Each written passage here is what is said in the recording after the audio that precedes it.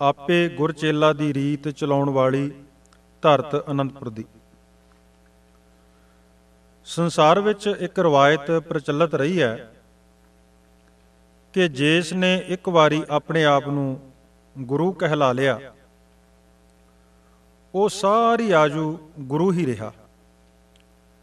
ਨਾ ਤਾਂ ਆਪਣੇ ਜਿਉਂਦੇ ਜੀ ਆਪਣਾ ਵਰਗਾ ਉਹ ਗੁਰੂ ਬਣਾ ਸਕਿਆ ਅਤੇ ਨਾ ਹੀ ਉਹ ਆਪਣੇ ਸ਼ਿਸ਼ ਅੱਗੇ ਸਾਰੀ ਉਮਰ ਨਿਵਿਆ।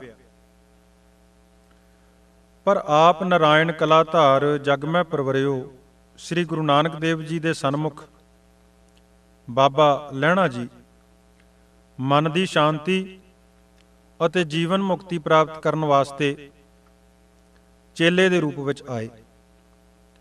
ਸਤਿਗੁਰੂ ਗੁਰੂ ਨਾਨਕ ਦੇਵ ਪਾਤਸ਼ਾਹ ਜੀ ਨੇ ਆਪਣੀ ਆਤਮਿਕ ਸਤਿਆ ਨਾਲ ਜਨ ਦੀਪਕ ਤੇ ਦੀਪ ਜਗਾਇਓ ਦੀ ਕਰਾਮਾਤ ਕਰਕੇ ਬਾਬਾ ਲਹਿਣਾ ਜੀ ਨੂੰ ਆਪਣਾ ਰੂਪ ਬਣਾ, ਆਪਣੀ ਆਤਮਿਕ ਜੋਤ ਬਾਬਾ ਲਹਿਣਾ ਜੀ ਵਿੱਚ ਧਰ ਕੇ ਸੰਪੂਰਨ ਗੁਰੂ ਬਣਾ, ਆਪਣੇ ਜਿਉਂਦੇ ਜੀ ਲਹਿਣਾ ਜੀ ਨੂੰ ਗੁਰੂ ਅੰਗਦ ਦੇਵ ਜੀ ਬਣਾ ਕੇ ਗੁਰਤਾ ਗੱਦੀ ਤੇ ਬਿਠਾ, ਮੱਥਾ ਟੇਕ, ਉਲਟੀ ਗੰਗ ਵਹਾ ਕੇ ਇੱਕ ਇਨਕਲਾਬੀ ਕਰਨਾ ਕਾਰਨਾਮਾ ਕਰ ਵਿਖਾਇਆ। ਬਲਵੰਡ ਜੀ ਨੇ ਰਾਮਕਲੀ ਦੀ ਵਾਰ ਅੰਦਰ ਬੜਾ ਸੁੰਦਰ ਲਿਖਿਆ ਹੈ ਕਿ ਗੁਰ ਚੇਲੇ ਰਹਿਰਾਸ ਕੀ, ਨਾਨਕ ਸਲਾਮਤ ਥੀਵਦਾ। ਸਹਿ ਹੈ ਟਿੱਕਾ ਦਤੋਸ ਜੀਵਦਾ। ਲੋਕਾਈ ਹੈਰਾਨ ਸੀ ਕਿ ਜਿਹੜੇ ਗੁਰੂ ਨਾਨਕ ਦੇਵ ਜੀ ਕਰਾਮਾਤੀ ਜੋਗੀਆਂ ਨਾਥਾਂ, ਪੀਰਾਂ, ਫਕੀਰਾਂ, ਵਿਦਵਾਨਾਂ, ਪੰਡਤਾਂ, ਰਾਜੇ ਮਹਾਰਾਜਿਆਂ, ਅਮੀਰਾਂ, ਵਜ਼ੀਰਾਂ ਅੱਗੇ ਨਹੀਂ ਨਿਵੇ। ਉਹ ਗੁਰੂ ਨਾਨਕ ਅੱਜ ਆਪਣੇ ਸ਼ਿਸ਼ ਬਾਬਾ ਲਹਿਣਾ ਜੀ ਅੱਗੇ ਨਿਵੇ ਹਨ। ਕਿਸ ਕਾਰਨ ਨਿਵੇ ਹਨ? ਵੇਖਣ ਤੇ ਪਰਖਣ ਵਾਸਤੇ ਲੋਕਾਈ ਵਹੀਰਾਂ ਗੱਤ ਕੇ ਆਉਂਦੀ ਹੈ ਤੇ ਬਚਨ ਬਲਾਸ ਦਰਸ਼ਨ ਕਰ ਸੰਤੁਸ਼ਟ ਹੋ ਕੇ ਜਾਂਦੀ ਹੈ ਕਿ ਇਹ ਬਾਬਾ ਲਹਿਣਾ ਜੀ ਨਹੀਂ। ਸਰੀਰ ਭਾਵੇਂ ਬਾਬਾ ਲਹਿਣਾ ਜੀ ਦਾ ਹੈ, ਪਰ ਜੋਤ ਲਹਿਣਾ ਜੀ ਦੇ ਅੰਦਰ ਗੁਰੂ ਨਾਨਕ ਪਾਤਸ਼ਾਹ ਦੀ ਸਾਮਰਥ ਵਰਤ ਰਹੀ ਹੈ। ਜਿਨ੍ਹਾਂ ਵੇਖਿਆ ਤੇ ਅਨੁਭਵ ਕੀਤਾ, ਉਹਨਾਂ ਲਿਖ ਵੀ ਦਿੱਤਾ ਕਿ ਸੰਸਾਰ ਦੇ ਲੋਕੋ, ਜੋਤ ਓਹਾ, ਜੁਗਤ ਸਾਏ, ਸਹਿ ਕਾਇਆ ਫੇਰ ਪਲਟੀਐ, ਝੁੱਲੇ ਸੋ ਛਤ ਨਰੰਜਨੀ ਮਲ ਤਖਤ ਬੈਠਾ ਗੁਰ ਹਟੀਐ। ਇਹ ਪਰੰਪਰਾ ਨਿਰੰਤਰ ਦਸਾਂ ਸਰੂਪਾਂ ਵਿੱਚ ਚੱਲਦੀ ਰਹੀ। ਪਹਿਲੇ ਸਤਿਗੁਰੂ ਆਪਣਾ ਰੂਪ ਬਣਾਉਣ ਤੋਂ ਪਹਿਲਾਂ ਸਿੱਖੀ ਦੀ ਪਰਖ ਕਰਦੇ ਰਹੇ ਤੇ ਪਰਖ ਵਿੱਚ ਪੂਰੇ ਉਤਰਨ ਵਾਲੇ ਨੂੰ ਆਪਣਾ ਰੂਪ ਬਣਾ, ਆਪਣਾ ਅਧਿਕਾਰੀ ਥਾਪ ਦਿੰਦੇ। ਅੱਜ ਵੀ ਉਸੇ ਪੂਰਨਿਆਂ ਤੇ ਚੱਲਦਿਆਂ ਸ੍ਰੀ ਕਲਗੀਧਰ ਪਾਤਸ਼ਾਹ ਜੀ ਨੇ ਸਿੱਖੀ ਦੀ ਪਰਖ ਕੀਤੀ ਤੇ ਪਰਖ ਕੀਤੀ ਵੀ ਤਲਵਾਰ ਦੇ ਨਾਲ। ਜੋ ਗੁਰੂ ਦੇ ਪਾਏ ਪਰਚੇ ਵਿੱਚੋਂ ਪੂਰੇ ਨੰਬਰ ਲੈ ਕੇ ਪਾਸ ਉਤਰੇ, ਸਤਿਗੁਰੂ ਜੀ ਨੇ ਉਹਨਾਂ ਨੂੰ ਉਹ ਅੰਮ੍ਰਿਤ ਦੀ ਦਾਤ, ਜਿਸ ਨੂੰ ਸ੍ਰਿਸ਼ਟੀ ਦੀ ਹੋਂਦ ਤੋਂ ਲੈ ਕੇ ਹੁਣ ਤੱਕ ਰਿਸ਼ੀ, ਮੁਨੀ, ਦੇਵੀ, ਦੇਵਤੇ ਖੋਜਦੇ ਰਹੇ, ਪਰ ਪ੍ਰਾਪਤ ਨਾ ਹੋਇਆ।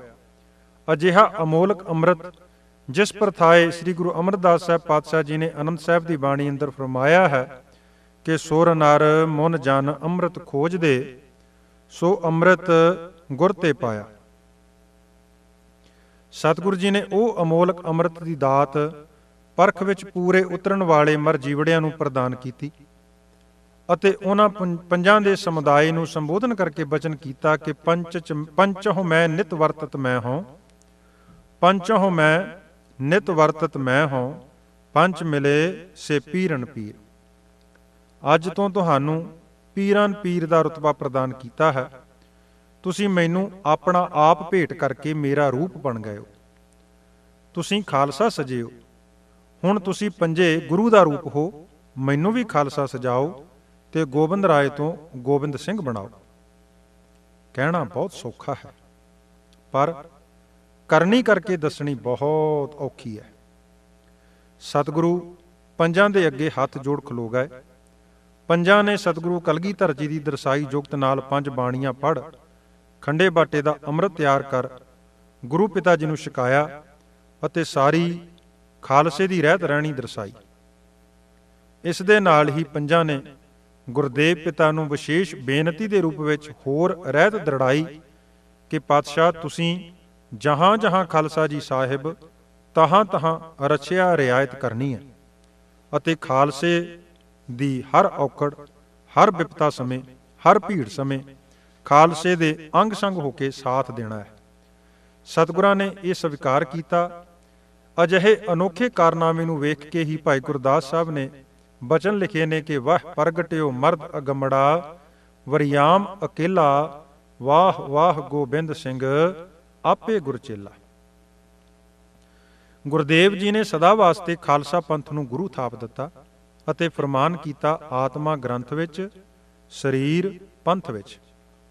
ਅੱਜ ਵੀ ਉਹ ਅਧਿਕਾਰ ਜੋ ਸਤਿਗੁਰੂ ਸ੍ਰੀ ਗੁਰੂ ਗੋਬਿੰਦ ਸਿੰਘ ਸਾਹਿਬ ਜੀ ਨੇ ਪੰਜਾਂ ਦੇ ਸਮੁਦਾਇ ਨੂੰ ਸ੍ਰੀ ਅਨੰਦਪੁਰ ਸਾਹਿਬ ਦੀ ਪਵਿੱਤਰ ਧਰਤੀ ਤੇ ਦਿੱਤੇ ਸਨ, ਖਾਲਸੇ ਪਾਸ ਉਸੇ ਤਰ੍ਹਾਂ ਕਾਇਮ ਹੈ, ਜਿਸ ਦੀ ਵਰਤੋਂ ਕਰਕੇ ਪੰਜ ਸਿੰਘ ਸਿੱਖਾਂ ਨੂੰ ਅੰਮ੍ਰਿਤ ਦੀ ਦਾਤ ਪ੍ਰਦਾਨ ਕਰਕੇ ਸਿੱਖ ਤੋਂ ਸਿੰਘ ਦਾ ਰਤਬਾ ਬਖਸ਼ਿਸ਼ ਕਰਦੇ ਹਨ ਅਤੇ ਸਮੇਂ-ਸਮੇਂ ਗੁਰੂ ਰੂਪ ਹੋ ਕੇ ਪੰਥਕ ਫੈਸਲੇ ਲੈਂਦੇ ਹਨ। ਇਹ ਸਾਰੀਆਂ ਬਖਸ਼ਿਸ਼ਾਂ ਸਾਰੇ ਅਧਿਕਾਰ ਅਤੇ ਆਪੇ ਗੁਰਚੇਲਾ ਦੇ ਪੂਰਨੇ ਸ੍ਰੀ ਕਲਗੀਧਰ ਪਾਤਸ਼ਾਹ ਜੀ ਨੇ ਪਾਵਨ ਪਵਿੱਤਰ ਸ੍ਰੀ ਅਨੰਦਪੁਰ ਸਾਹਿਬ ਦੀ ਭੂਮੀ ਤੇ ਸ਼ਿਸ਼ੋਭਤ ਹੋ ਕੇ ਕੀਤੇ। ਸੋ ਅਜਈਆਂ ਬਖਸ਼ਿਸ਼ਾਂ ਭਰੀ ਪਾਵਨ ਧਰਤੀ ਨੂੰ ਵਾਰ-ਵਾਰ ਨਮਸਕਾਰ ਕਰੀਏ ਤੇ ਇਹਨਾਂ ਬਖਸ਼ਿਸ਼ਾਂ ਤੋਂ ਆਪਣੇ ਆਪ ਨੂੰ ਵਰਸਾਈਏ। ਇਸ ਮੁਕੱਦਸ ਭੂਮੀ ਤੇ ਬੈਠ ਕੇ ਆਪਣੇ ਆਪੇ ਦੀ ਪੜਚੋਲ ਕਰੀਏ ਕਿ ਕਿਤੇ ਆਪਾਂ ਗੁਰੂ ਬਖਸ਼ਿਸ਼ ਤੋਂ ਵਿਰਵੇ ਤਾਂ ਨਹੀਂ ਰਹਿ ਗਏ? ਜੇ ਮਨ ਸ਼ਾਦੀ ਭਰੇ, ਤਾਂ ਬਖਸ਼ਿਸ਼ਾਂ ਪ੍ਰਾਪਤ ਕਰਨ ਲਈ ਹੋਰ ਦੇਰ ਨਾ ਕਰੀਏ, ਕਿਉਂਕਿ ਸਮਾਂ ਆਪਣੀ ਤੋਰੇ ਤੁਰਿਆ ਜਾ ਰਿਹਾ ਹੈ। ਕਿਤੇ ਆਪਾਂ ਪਛੜ ਕੇ ਪਛਤਾਵੇ ਦੀ ਝੋਲੀ ਨਾ ਪੈ ਜਾਈਏ। ਸਮੇਂ ਦੀ ਤੋਰ ਪ੍ਰਤੀ ਭਾਈ ਵੀਰ ਸਿੰਘ ਦੀ ਰੁਬਾਈ ਪੜ੍ਹੀਏ ਕਿ ਸਮਾਂ ਨਾ ਤਾਂ ਪਿਆਰ ਕਰਨ ਨਾਲ, ਨਾ ਮਿੰਤਾਂ ਕਰਨ ਨਾਲ ਅਟਕਦਾ ਹੈ। ਨਾ ਸਮੇਂ ਨੂੰ ਜ਼ੋਰ ਨਾਲ ਅਟਕਾਇਆ ਜਾ ਸਕਦਾ ਹੈ। ਸਮਾਂ ਆਪਣੀ ਤੋਰ ਤੁਰਿਆ ਜਾ ਰਿਹਾ ਹੈ। ਸਮੇਂ ਨੂੰ ਤੇ ਕੇਵਲ ਸਫਲਾ ਕੀਤਾ ਜਾ ਸਕਦਾ ਹੈ। ਭਾਈ ਸਾਹਿਬ, ਭਾਈ ਵੀਰ ਸਿੰਘ ਹੋਰਾਂ ਦਾ ਬਚਨ ਹੈ ਕਿ ਰਹੀ ਵਾਸਤੇ ਘਤ, ਸਮੇਂ ਨੇ ਇੱਕ ਨਾ ਮੰਨੀ। ਫੜ ਫੜ ਰਹੀ ਧਰੀਕ, ਸਮੇਂ ਖਿਸਕਾਈ ਕੰਨੀ। ਕਿਵੇਂ ਨਾ ਸਕੀ ਰੋਕ, ਅਟਕ ਜੋ ਪਾਈ ਭੰਨੀ। ਤ੍ਰਿਖੇ ਆਪਣੇ ਵੇਗ, ਗਿਆ ਟੱਪ ਬੰਨੇ ਬੰਨੀ। ਹੋ ਅਜੇ ਸੰਭਾਲ ਇਸ ਸਮੇਂ ਨੂੰ, ਕਰ ਸਫਲ ਉਡੰਦਾ ਜਾਵਦਾ, ਇਹ ਠਹਿਰਨ ਜਾਚ ਨਾ ਜਾਣਦਾ, ਲੰਘ ਗਿਆ ਨਾ ਮੁੜ ਕੇ ਆਉਂਦਾ ਸਮਾਂ ਤਾਂ ਦੌੜਿਆ ਜਾ ਰਿਹਾ ਹੈ। ਸਤਿਗੁਰੂ, ਸ੍ਰੀ ਗੁਰੂ ਰਾਮਦਾਸ ਸਾਹਿਬ ਪਾਤਸ਼ਾਹ ਸ੍ਰੀ ਰਾਗ ਅੰਦਰ ਫਰਮਾਨ ਕਰਦੇ ਹਨ ਕਿ ਸਵੇਰੇ ਸੂਰਜ ਚੜ੍ਹਦਾ ਹੈ, ਰਾਤ ਪੈ ਜਾਂਦੀ ਹੈ। ਰਾਤ ਸੁੱਤਿਆਂ ਬੀਤ ਜਾਂਦੀ ਹੈ, ਦਿਨ ਕੰਮਾਂ ਕਾਰਾਂ ਵਿੱਚ ਬਤੀਤ ਹੋ ਜਾਂਦਾ ਹੈ। ਇਸੇ ਤਰ੍ਹਾਂ ਨਿਤ ਕਿਰਿਆ ਚੱਲਦੀ ਰਹਿੰਦੀ ਹੈ ਤੇ ਮਨੁੱਖ ਦੀ ਉਮਰ ਕਾਲ ਰੂਪੀ ਚੂਹਾ ਕੁਤਰੀ ਜਾ ਰਿਹਾ ਹੈ। ਪਰ ਮਨੁੱਖ ਨੂੰ ਇਹ ਸਮਝ ਨਹੀਂ ਪੈਂਦੀ ਕਿ ਮੇਰੀ ਉਮਰ ਤਾਂ ਮੁੱਕਦੀ ਜਾ ਰਹੀ ਹੈ। ਸਹਿਬਾਂ ਦਾ ਪਾਵਨ ਬਚਨ, ਧੰਨ ਗੁਰੂ ਗ੍ਰੰਥ ਸਾਹਿਬ ਪਾਤਸ਼ਾਹ ਜੀ ਦੇ ਪਾਵਨ ਅੰਗ 41 ਉੱਪਰ ਸੁਸ਼ੋਭਤ ਹੈ ਕਿ ਦਿਨਸ ਚੜ੍ਹੈ, ਫਿਰ ਆਥਵੈ ਰੈਣ ਸਬਾਈ ਜਾਏ, ਆਵ ਘਟੈ, ਨਰ ਨਾ 부ਜੈ ਨਿਤ ਮੂਸਾ ਲਾਜ ਟੁਕਾਏ। ਧਨਾਸਰੀ ਰਾਗ ਅੰਦਰ ਭਗਤ ਕਬੀਰ ਜੀ ਦਾ ਬਹੁਤ ਹੀ ਭਾਵ ਪੂਰਤ ਬਚਨ ਹੈ, ਜੋ ਧੰਨ ਗੁਰੂ ਗ੍ਰੰਥ ਸਾਹਿਬ ਜੀ ਦੇ ਅੰਗ 692 ਉੱਪਰ ਦਰਜ ਹੈ। ਕਿ ਦਿਨ ਤੇ ਪਹਿਰ ਪਹਿਰ ਤੇ ਘਰੀਆਂ, ਆਵ ਕਟਹਿ ਤਨ ਸੀਜੈ ਕਾਲ ਅਹੇਰੀ ਫਿਰੈ ਬਦਕ ਜਿਉ, ਕਹੋ ਕਵਨ ਬਿਦ ਕੀਜੈ। ਸੋ ਦਿਨ ਆਵਨ ਲਾਗਾ ਮਾਤ ਪਿਤਾ ਭਾਈ ਸੁਤ ਬਨਤਾ ਕਹੋ ਕਉ ਹੈ ਕਾਕਾ। ਇਹ ਖੇਡ ਸਾਡੇ ਉੱਪਰ ਵੀ ਵਰਤ ਜਾਣੀ ਹੈ। ਅਜੇ ਸਮਾਂ ਹੈ, ਸਮਝੀਏ, ਸੋਚੀਏ ਤੇ ਆਪਣੇ ਮਨੁੱਖਾ ਜਨਮ ਨੂੰ ਸਫਲਾ ਕਰ ਲਈਏ। ਮਨੁੱਖਾ ਜਨਮ ਸਫਲਾ ਕੇਵਲ ਗੁਰੂ ਚਾਲੀ ਉੱਪਰ ਚੱਲਿਆ ਹੀ, ਗੁਰੂ ਵਾਲੇ ਬਣਿਆ ਹੀ ਹੋਣਾ ਹੈ। ਗੁਰੂ ਦੇ ਹੁਕਮ ਦੀ ਕਮਾਈ ਕੀਤਿਆਂ ਹੀ ਹੋਣਾ ਹੈ। ਕਿਉਂਕਿ ਸਤਿਗੁਰੂ ਗੁਰੂ ਨਾਨਕ ਦੇਵ ਪਾਤਸ਼ਾਹ ਜੀ ਦਾ ਪਾਵਨ ਬਚਨ ਹੈ ਕਿ ਬਿਨ ਸਤਿਗੁਰ ਕਿਨੈ ਨਾ ਪਾਇਓ, ਬਿਨ ਸਤਿਗੁਰ ਕਿਨੈ ਨਾ ਪਾਇਆ, ਸਤਿਗੁਰ ਵਿੱਚ ਆਪ ਰਖਿਓਨ, ਕਰ ਪ੍ਰਗਟ ਆਖ ਸੁਣਾਇਆ। ਸ੍ਰੀ ਗੁਰੂ ਅਰਜਨ ਦੇਵ ਪਾਤਸ਼ਾਹ ਇਸ ਤੋਂ ਵੱਧ ਹੋਰ ਕੀ ਕਹਿ ਸਕਦੇ ਨੇ? ਆਪ ਜੀ ਦਾ ਪਾਵਨ ਫਰਮਾਨ ਹੈ ਕਿ हे ਭਾਈ, ਐਵੇਂ ਭਰਮ ਭੁਲੇਖੇ ਵਿੱਚ ਪੈ ਕੇ ਆਪਣਾ ਕੀਮਤੀ ਮਨੁੱਖਾ ਜਨਮ ਬਰਬਾਦ ਨਾ ਕਰੋ। ਗੁਰੂ ਵਾਲੇ ਬਣੇ ਤੋਂ ਬਿਨਾ ਕੋਈ ਜੀਵ ਵੀ ਸੰਸਾਰ ਭਵਜਲ ਤੋਂ ਪਾਰ ਨਹੀਂ ਉਤਰ ਸਕੇਗਾ। ਸਹਿਬਾਂ ਦਾ ਬੜਾ ਕੀਮਤੀ ਬਚਨ ਪੱਲੇ ਬੰਨਣ ਵਾਲਾ ਹੈ ਕਿ ਮਤ ਕੋ ਭਰਮ ਭੁੱਲੈ ਸੰਸਾਰ, ਗੁਰ ਬਿਨ ਕੋਏ ਨਾ ਉਤਰਸ ਪਾਰ ਰਹਾਓ ਜੇ ਗੁਰੂ ਵਾਲੇ ਬਣੇ ਤੋਂ ਬਿਨਾ ਜੀਵਨ ਦੀ ਸਫਲਤਾ ਹੋਣੀ ਹੀ ਨਹੀਂ, ਤਾਂ ਫਿਰ ਆਨਾਕਾਨੀ ਕਰਨ ਦਾ ਕੀ ਫਾਇਦਾ? ਜੇ ਗੁਰੂ ਚਾਲੀ ਦੇ ਧਾਰਨੀ ਬਣਨ ਤੋਂ ਢਿੱਲ ਵਰਤਾਂਗੇ, ਤਾਂ ਆਪਣੇ ਆਪ ਨਾਲ ਹੀ ਧੋਖਾ ਕਰਾਂਗੇ। ਸਿਆਣਾ ਮਨੁੱਖ ਆਪਣੇ ਆਪ ਨਾਲ ਧੋਖਾ ਨਾ ਕਰਦਾ ਹੈ ਤੇ ਨਾ ਹੋਣ ਦਿੰਦਾ ਹੈ। ਪਰ ਅਸੀਂ ਅਣਜਾਣਪੁਣੇ ਵਿੱਚ ਆਪਣੇ ਨਾਲ ਧੋਖਾ ਕਰਕੇ ਦਿਨ ਕਟੀ ਕਰ ਰਹੇ ਹਾਂ। ਸੋ ਆਓ ਗੁਰੂ ਤੋਂ ਸੇਧ ਲਈਏ ਅਤੇ ਜਲਦੀ ਤੋਂ ਜਲਦੀ ਗੁਰਸਿੱਖ ਮੀਤ, ਚਲੋ ਗੁਰ ਚਾਲੀ, ਜੋ ਗੁਰ ਕਹੈ ਸੋਈ ਭਲ ਮਾਨੋ ਹਰ ਹਰ ਕਥਾ ਨਰਾਲੀ ਇਸ ਬਚਨ ਦੇ ਧਾਰਨੀ ਬਣ, ਸਤਿਗੁਰਾਂ ਦੇ ਪਰਉਪਕਾਰਾਂ ਤੋਂ ਲਾਹਾ ਪ੍ਰਾਪਤ ਕਰ ਆਪਣਾ ਮਨੁੱਖਾ ਜਨਮ ਸਫਲਾ ਕਰੀਏ ਅਤੇ ਅਨੰਦਪੁਰ ਸਾਹਿਬ ਦੀ ਪਾਵਨ ਧਰਤੀ ਤੇ ਸਤਿਗੁਰਾਂ ਵੱਲੋਂ ਹੋਈਆਂ ਬਖਸ਼ਿਸ਼ਾਂ ਨੂੰ ਆਪਣੀ ਝੋਲੀ ਵਿੱਚ ਪਵਾ ਕੇ ਆਪਣੀ ਝੋਲੀ ਨੂੰ ਸਫਲਾ ਕਰੀਏ, ਵੱਡੀ ਕਰੀਏ, ਆਪਣਾ ਜੀਵਨ ਸਫਲਾਈਏ ਅਤੇ ਨਾਲ-ਨਾਲ ਵਿਚਾਰਾਂ ਕਰੀਏ, ਜੇ ਸਤਿਗੁਰੂ ਕਲਗੀਧਰ ਜੀ ਨੇ, ਜੋ ਆਪ ਖੁਦ ਅੰਮ੍ਰਿਤ ਦੇ ਦਾ- ਦੇ ਦਾਤੇ ਸਨ। ਕਲਗੀਧਰ ਪਾਤਸ਼ਾਹ, ਜੋ ਆਪ ਖੁਦ ਅੰਮ੍ਰਿਤ ਦੇ ਦਾਤੇ ਸਨ ਉਹਨਾਂ ਨੇ ਆਪਣੇ ਆਪ ਨੂੰ ਇਸ ਅੰਮ੍ਰਿਤ ਦੀ ਅਮੋਲਕ ਦਾਤ ਤੋਂ ਵਾਂਝਾ ਨਹੀਂ ਰੱਖਿਆ, ਤਾਂ ਫਿਰ ਇਸ ਅੰਮ੍ਰਿਤ ਦੀ ਦਾਤ ਤੋਂ ਸਾਨੂੰ ਕਿਵੇਂ ਛੋਟ ਮਿਲ ਸਕਦੀ ਹੈ? ਨਹੀਂ ਮਿਲ ਸਕਦੀ, ਕਦਾਚਿਤ ਨਹੀਂ। ਇਸ ਰੀਤ ਨੂੰ ਅਪਣਾਉਣਾ ਹੀ ਪਵੇਗਾ ਅਤੇ ਖੰਡੇ ਬਾਟੇ ਦੀ ਪਹੁਲ ਲੈ ਕੇ ਹੀ ਗੁਰਸਿੱਖ ਦੇ ਜੀਵਨ ਦੀ ਸਫਲਤਾ ਹੋਵੇਗੀ। ਸੋ ਇਸ ਲਈ ਧਰਮ ਦੇ ਕਰਮ ਕਰਨ ਲਈ ਦੇਰ ਨਾ ਕਰੀਏ ਅਤੇ ਸਤਿਗੁਰੂ ਗੁਰੂ ਅਰਜਨ ਦੇਵ ਪਾਤਸ਼ਾਹ ਜੀ ਦਾ ਪਾਵਨ ਬਚਨ ਹਿਰਦੇ ਵਿੱਚ ਦ੍ਰਿੜ ਕਰੀਏ ਕਿ ਨੈ ਬਿਲੰਮ ਧਰਮੰ ਬਿਲੰਮ ਪਾਪੰ। ਆਪਣੇ ਭਲੇ ਦਾ ਕਾਰਜ ਕਰਨ ਲਈ ਕਦਾਚਿਤ ਵੀ ਆਲਸ ਨਹੀਂ ਕਰਨੀ ਚਾਹੀਦੀ। ਸਤਿਗੁਰੂ ਗੁਰੂ ਅਰਜਨ ਦੇਵ ਜੀ ਦਾ ਸੋਰਠ ਰਾਗ ਅੰਦਰ ਪਾਵਨ ਬਚਨ ਹੈ ਉਸ ਨੂੰ ਪੜ੍ਹ ਕੇ ਉਸ ਉੱਪਰ ਅਮਲੀ ਤੌਰ ਤੇ ਉਸ ਨੂੰ ਆਪਣੇ ਜੀਵਨ ਵਿੱਚ ਕਮਾਉਣ ਲਈ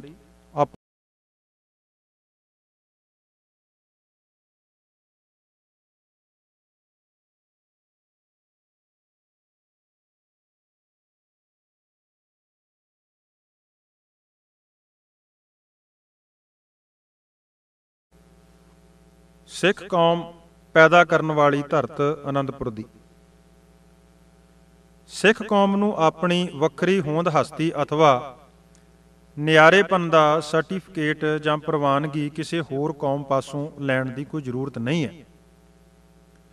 ਸਿੱਖ ਕੌਮ ਦੇ ਪ੍ਰਗਟ ਹੋਣ ਦਾ ਦਿਨ 1699 ਦੀ ਵਿਸਾਖੀ ਅਸਥਾਨ ਸ੍ਰੀ ਅਨੰਦਪੁਰ ਸਾਹਿਬ ਅਤੇ ਦੁਨੀਆ ਸਾਹਮਣੇ ਪ੍ਰਗਟ ਹੋਣ ਦੀ ਥਾਂ ਸ੍ਰੀ ਕੇਸਗੜ੍ਹ ਸਾਹਿਬ ਹੈ।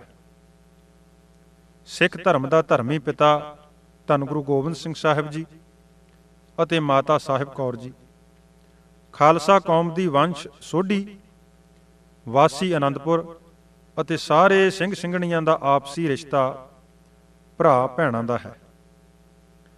ਅਜਿਹਾ ਕੌਮੀ ਦਰਖਤ ਭਾਵ ਨੈਸ਼ਨਲ ਟਰੀ ਕਿਸੇ ਵੀ ਕੌਮ ਦਾ ਸਾਰੀ ਦੁਨੀਆ ਵਿੱਚ ਕਿਤੇ ਨਹੀਂ ਮਿਲਦਾ। ਸਿੱਖ ਕੌਮ ਦਾ ਬਾਣਾ ਵੱਖਰਾ, ਧਰਮ ਗ੍ਰੰਥ ਵੱਖਰਾ, ਰਸਮੋ ਰਿਵਾਜ ਵੱਖਰੇ, ਪੂਜਾ ਦਾ ਢੰਗ ਤਰੀਕਾ ਵੱਖਰਾ, ਰਹਿਣੀ ਵੱਖਰੀ, ਰਹਿਤ ਵੱਖਰੀ, ਜ਼ਿੰਦਗੀ ਦਾ ਨਿਸ਼ਾਨਾ ਵੱਖਰਾ, ਮੰਤਰ, ਭਾਵ, ਗੁਰਮੰਤਰ ਅਤੇ ਮੂਲ ਮੰਤਰ ਇਹ ਵੱਖਰਾ ਮੰਗਲਾਚਰਨ ਵੱਖਰਾ, ਸੰਸਾਰ ਬਿਲਕੁਲ ਹੀ ਕਿਸੇ ਕੌਮ ਨਾਲ, ਸੰਸਕਾਰ ਬਿਲਕੁਲ ਹੀ ਕਿਸੇ ਕੌਮ ਨਾਲ ਮੇਲ ਨਹੀਂ ਖਾਂਦੇ। ਉਪਰੋਕਤ ਸਾਰੇ ਕੁਝ ਦੇ ਨਾਲ ਨਾਲ ਇਸ ਦੇ ਸੰਸਕਾਰ ਬਿਲਕੁਲ ਹੀ ਕਿਸੇ ਕੌਮ ਨਾਲ ਮੇਲ ਨਹੀਂ ਖਾਂਦੇ। ਕੋਈ ਵੀ ਨੇਮ, ਕਰਮ, ਖਾਲਸਾ ਕੌਮ ਦਾ, ਖਾਲਸਾ ਪੰਥ ਦਾ ਕਿਸੇ ਹੋਰ ਕੌਮ ਨਾਲ ਨਹੀਂ ਰਲਦਾ।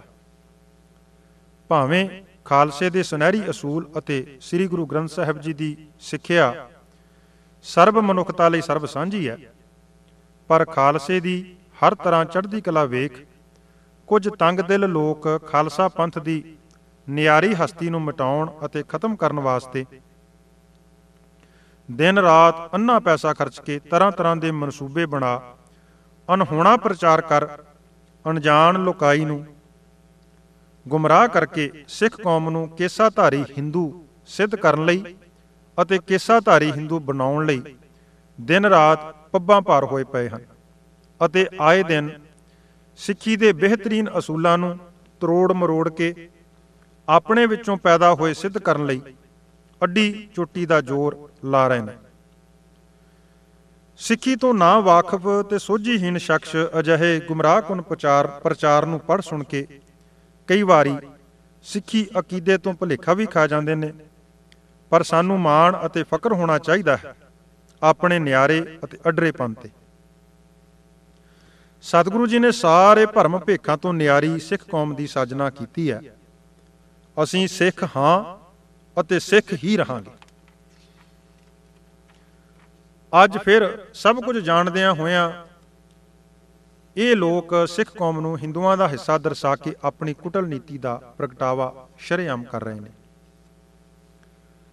ਇਸੇ ਸੰਦਰਭ ਵਿੱਚ ਚੀਫ ਖਾਲਸਾ ਦੀਵਾਨ ਦੇ ਆਨਰੇਰੀ ਸਕੱਤਰ ਸਰਦਾਰ ਭਗਤ ਸਿੰਘ ਜੀ ਅਣਖੀ ਨੇ ਚੀਫ ਖਾਲਸਾ ਦੀਵਾਨ ਦੇ ਚੋਣਵੇਂ ਇਕੱਠ ਵਿੱਚ ਕੁਝ ਸਮਾਂ ਪਹਿਲਾਂ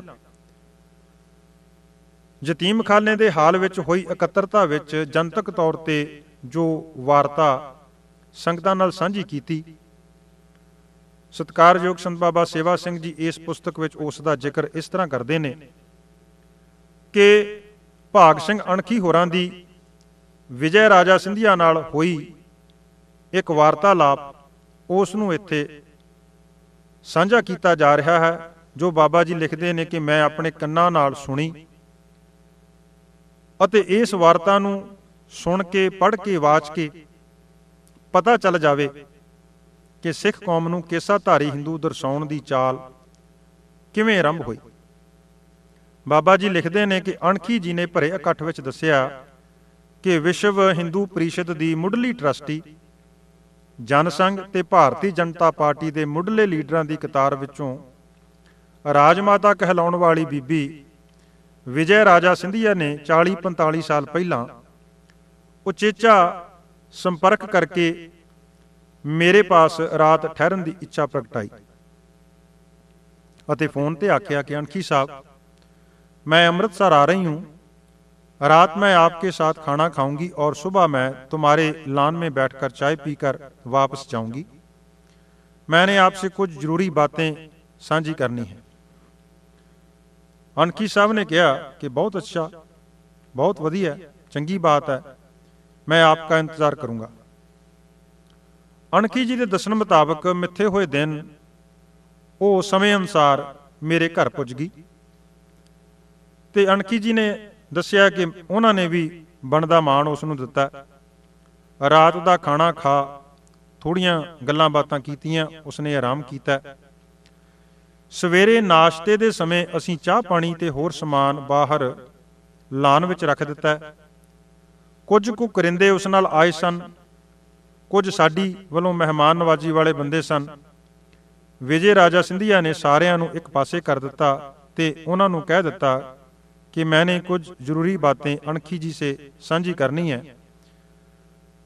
ਅਣਖੀ ਜੀ ਨੇ ਦੱਸਿਆ ਕਿ ਮੈਂ ਵੀ ਹੈਰਾਨ ਸਾਂ ਕਿ ਇਸ ਨੇ ਕਿਹੜੀ ਅਜਿਹੀ ਗੱਲ ਹੈ ਜੋ ਮੇਰੇ ਨਾਲ ਵੱਖਰੇ ਤੌਰ ਤੇ ਸਾਂਝੀ ਕਰਨੀ ਹੈ, ਜਿਸ ਕਰਕੇ ਇਸ ਨੇ ਆਪਣੇ ਨਿਕਟ ਵਰਤੀਆਂ ਨੂੰ ਵੀ ਪਰੇ ਕਰ ਦਿੱਤਾ ਸੋ ਖੈਰ, ਵਿਜੇ ਰਾਜਾ ਸਿੰਧੀਆ ਨੇ ਚਾਹ ਦਾ ਕੱਪ ਹੱਥ ਵਿੱਚ ਫੜਿਆ, ਘੁੱਟ ਭਰਿਆ ਤੇ ਨਾਲ ਹੀ ਸੰਬੋਧਨ ਕਰਕੇ ਕਹਿਣ ਲੱਗੀ कि अणखी जी, आप चीफ खालसा दीवान के सेक्रेटरी हो।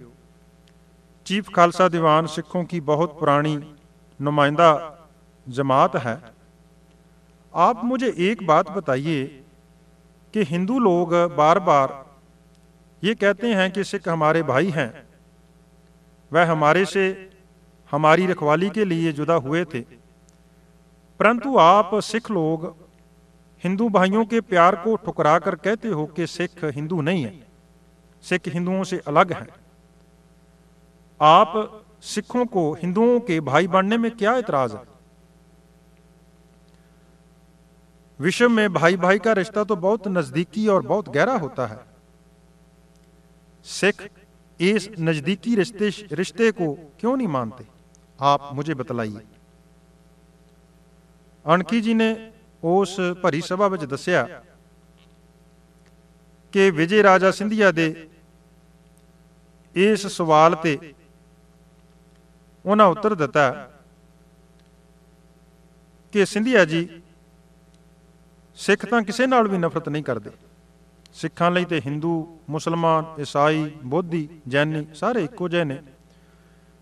ਤੇ ਸਿੱਖ ਸਾਰੇ ਵਿਸ਼ਵ ਨੂੰ, ਸਾਰੇ ਸੰਸਾਰ ਨੂੰ ਏਕ ਪਿਤਾ ਏਕ ਸਕੇ ਹੰਬਾਰਕ ਦਰਸਾ ਕੇ ਸਭ ਨਾਲ ਪਿਆਰ ਕਰ ਸਰਬੱਤ ਦਾ ਭਲਾ ਮੰਗਦੇ ਹਨ ਸਿੱਖ ਲਈ ਤਾਂ ਕਿਸੇ ਕੌਮ ਨਸਲ ਨਾਲ ਕੋਈ ਵੀ ਮਨੁੱਖ ਸੰਬੰਧ ਰੱਖਦਾ ਹੋਵੇ ਉਹ ਸਾਡੇ ਵਾਸਤੇ ਸਾਡਾ ਭਰਾ ਹੀ ਹੈ ਇਹ ਉੱਤਰ ਸੁਣ ਕੇ ਰਾਜਮਾਤਾ ਕਹਿਣ ਲੱਗੀ भाग सिंह तुम हमारी बात नहीं समझे हिंदू कहते हैं कि सिख हमारे केसाधारी हिंदू भाई हैं पर आप बार बार इनकार करते हो आपके जो लीडर लोग हैं वो भी अखबारों में बयान देते हैं कि हम हिंदू नहीं हम वक्री कौम हैं ਅਣਖੀ ਜੀ ਨੇ ਦੱਸਿਆ ਕਿ ਮੈਂ ਉਸ ਬੀਬੀ ਨੂੰ ਕਿਹਾ ਕਿ ਅਸੀਂ ਸਾਰਿਆਂ ਨੂੰ ਪਿਆਰ ਕਰਦੇ ਹਾਂ ਭਰਾ ਜਾਣਦੇ ਹਾਂ ਪਰ ਜੋ ਤੁਸੀਂ ਗੱਲ ਕਹੀ ਹੈ ਉਸ ਦਾ ਪੂਰਾ ਪਤਾ ਮੈਨੂੰ ਹੁਣ ਲੱਗਾ ਅਣਖੀ ਸਾਹਿਬ ਨੇ ਵਿਜੇ ਰਾਜਾ ਸਿੰਧੀਆ ਨੂੰ ਆਖਿਆ ਕਿ ਸਿੰਧੀਆ ਸਾਹਿਬ ਤੁਲਸੀਦਾਸ, ਜੋ ਹਿੰਦੂ ਮਤ ਦੇ ਬੜੇ ਵਿਦਵਾਨ ਹੋਏ ਨੇ, ਉਹਨਾਂ ਨੇ ਲਿਖਿਆ ਹੈ ਕਿ ਜਿਸ ਸ਼ਖਸ ਦੇ ਜੀਵ ਦੇ ਛੇ ਅਮਲ, ਛੇ ਅਸੂਲ ਆਪਸ ਵਿੱਚ ਮਿਲਦੇ ਹੋਣ, ਉਹਨਾਂ ਦਾ ਆਪਸੀ ਮੇਲ ਜੋਲ ਸਹਿਜੇ ਹੀ ਬਣ ਜਾਂਦਾ ਹੈ। ਕੋਈ ਯਤਨ ਨਹੀਂ ਕਰਨਾ ਪੈਂਦਾ। ਤੁਲਸੀ ਜੀ ਦਾ ਫਰਮਾਨ ਹੈ ਕਿ ਆਸ਼ਾ, ਇਸ਼ਟ, ਉਪਾਸ਼ਨਾ, ਖਾਣ, ਪਾਣ, ਪਹਿਰਾਨ ਆਸ਼ਾ, ਜਿਸ ਦੇ ਜੀਵਨ ਦਾ ਆਸ਼ਾ ਇੱਕ ਹੋਵੇ। ਇਸ਼ਟ, ਧਰਮ ਇੱਕ ਹੋਵੇ।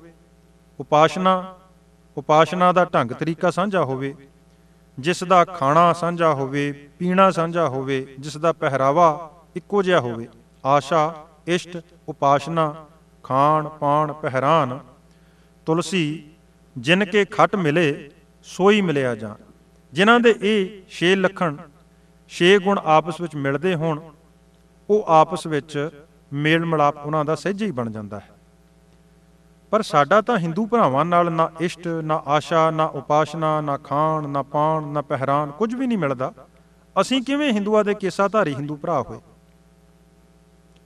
ਸਰਦਾਰ ਭਾਗ ਸਿੰਘ ਜੀ ਨੇ ਦੱਸਿਆ ਕਿ ਮੇਰੀ ਇਹ ਗੱਲ ਸੁਣ ਕੇ ਵਿਜੇ ਰਾਜਾ ਸਿੰਧੀਆ, ਜੋ ਕੱਟੜ ਜਨ ਸੰਗੀ ਤੇ ਵਿਸ਼ਵ ਹਿੰਦੂ ਪ੍ਰੀਸ਼ਦ ਦੀ ਟਰਸਟੀ ਸੀ, ਸਿਰ ਹਲਾ ਕੇ ਕਹਿਣ ਲੱਗੀ ਉਹ ਅਬ ਬਾਤ ਮੇਰੀ ਪਕੜ में आई है मैं अच्छी तरह समझी हूं अब मैं जब वापस जाऊंगी तो अपने हिंदू वीरों से निवेदन करूंगी कि अगर सिख आपके केसाधारी हिंदू भाई नहीं बनना चाहते अगर सिख आपके केसाधारी हिंदू भाई नहीं बनना चाहते तो आप लोग केसाधारी होकर सिखों के भाई बन जाओ ਗੱਲ ਪਕੜਨ ਵਾਲੀ ਹੈ ਉਸ ਵਿਜੇ ਰਾਜਾ ਸਿੰਧੀਆ ਨੇ ਆਖਿਆ ਕਿ मैं अपने हिंदू वीरों से निवेदन करूंगी कि अगर सिख लोग आपके केसाधारी हिंदू भाई नहीं बनना चाहते तो आप लोग केसाधारी होकर सिखों के भाई बन जाओ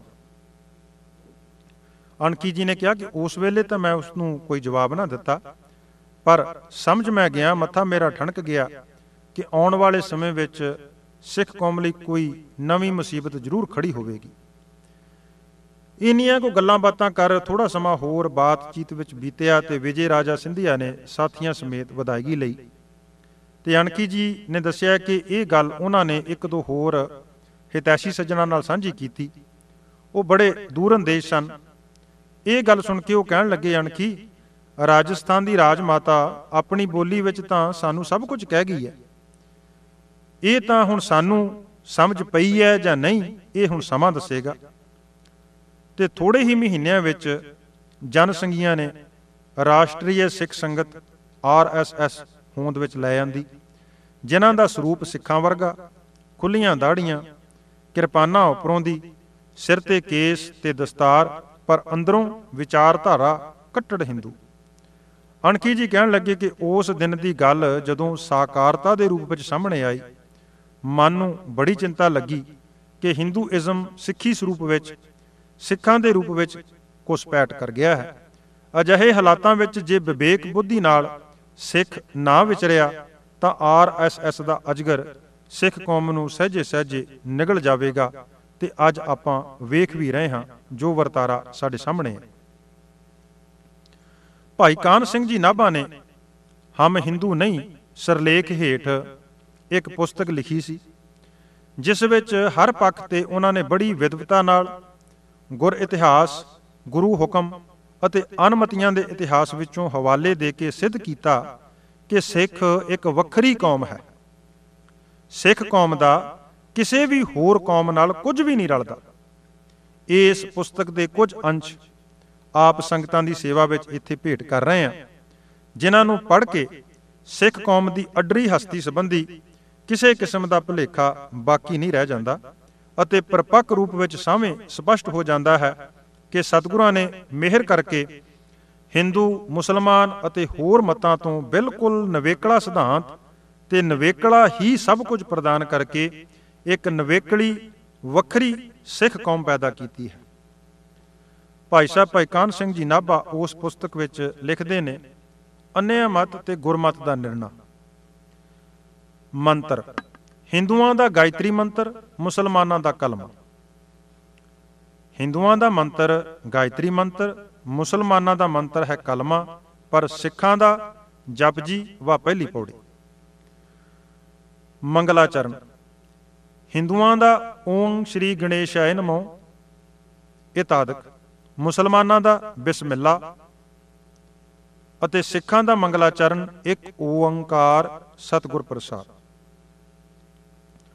ਮੁਲਾਕਾਤ ਵੇਲੇ ਹਿੰਦੂ ਰਾਮ ਰਾਮ ਨਮਸਤੇ ਆਦਿਕ ਕਹਿੰਦੇ ਨੇ, ਮੁਸਲਮਾਨ ਸਲਾਮ ਔਰ ਸਿੱਖ ਆਪਸ ਵਿੱਚ ਮਿਲਦੇ ਸਮੇਂ ਵਾਹਿਗੁਰੂ ਜੀ ਕਾ ਖਾਲਸਾ, ਵਾਹਿਗੁਰੂ ਜੀ ਕੀ ਫਤਿਹ ਦੀ ਸਾਂਝ ਪਾਉਂਦੇ ਨੇ। ਧਰਮ ਦੇ ਪੁਸਤਕਾਂ, ਹਿੰਦੂਆਂ ਦੇ ਵੇਦ, ਮੁਸਲਮਾਨਾਂ ਦਾ ਕੁਰਾਨ, ਸਿੱਖਾਂ ਦਾ ਸਤਿਗੁਰੂ ਸ੍ਰੀ ਗੁਰੂ ਗ੍ਰੰਥ ਸਾਹਿਬ। ਤੀਰਥ ਹਿੰਦੂਆਂ ਦੇ ਗੰਗਾ ਗਿਆ ਪ੍ਰਯਾਗ ਇਤਆਦਿਕ ਮੁਸਲਮਾਨਾਂ ਦਾ ਮੱਕਾ, ਮਦੀਨਾ ਔਰ ਸਿੱਖਾਂ ਦਾ ਤੀਰਥ ਸ੍ਰੀ ਅੰਮ੍ਰਿਤਸਰ ਸਾਹਿਬ, ਅਬਚਲ ਨਗਰ ਆਦਿਕ ਔਰ ਸਭ ਤੋਂ ਮੁੱਖ ਵਾਹਿਗੁਰੂ ਦਾ ਨਾਮ, ਤੀਰਥ ਹਮਰੋ, ਹਰ ਕੋ ਨਾਮ। ਮੰਦਰ, ਹਿੰਦੂਆਂ ਦੇ ਠਾਕਰ ਦੁਆਰੇ, ਸ਼ਿਵਾਲੇ ਆਦਿਕ ਮੁਸਲਮਾਨਾਂ ਦੀ ਮਸਜਿਦ ਔਰ ਸਿੱਖਾਂ ਦੇ ਗੁਰਦੁਆਰੇ ਧਰਮਸ਼ਾਲਾ। ਪੂਜਨ ਦੀ ਦਸ਼ਾ, ਪੂਜਾ ਕਰਨ ਦੀ ਦਿਸ਼ਾ। ਹਿੰਦੂਆਂ ਵੱਲੋਂ ਪੂਰਬ ਵੱਲ ਨੂੰ ਮੂੰਹ ਕਰਕੇ ਆਪਣੀ ਪੂਜਾ ਕੀਤੀ ਜਾਂਦੀ ਹੈ, ਮੁਸਲਮਾਨ ਪੱਛਮ ਵੱਲ।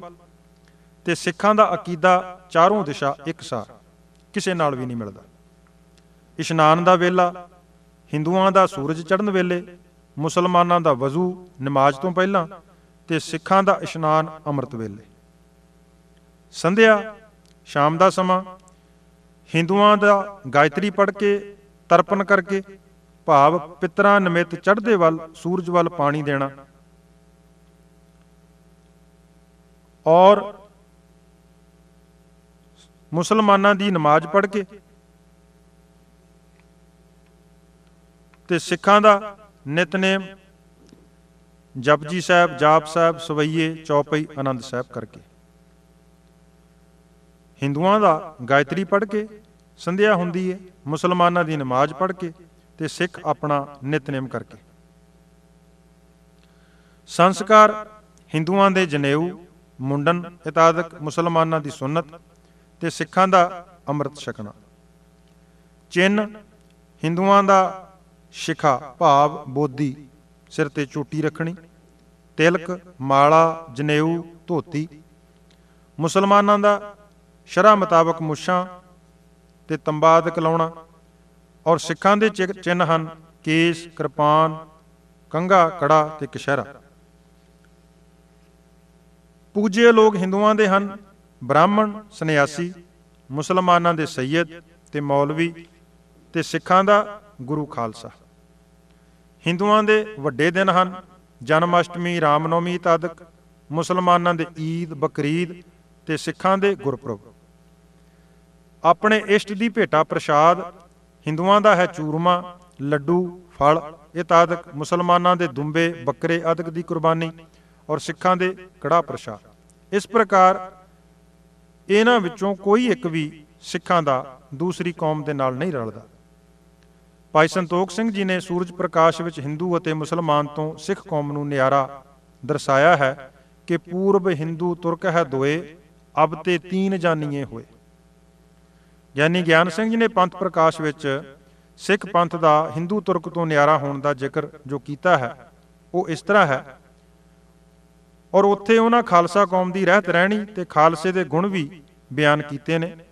ਭਾਈ ਸਾਹਿਬ ਲਿਖਦੇ ਨੇ ਕਿ ਹਿੰਦੂ ਤੁਰਕਨ ਤੇ ਹੈ ਨਿਆਰਾ। ਖਾਲਸਾ ਜੋ ਹੈ, ਹਿੰਦੂ ਤੁਰਕਨ ਤੇ ਹੈ ਨਿਆਰਾ, ਫਿਰਕਾ ਇਨਕਾ ਅਪਰ ਅਪਾਰਾ।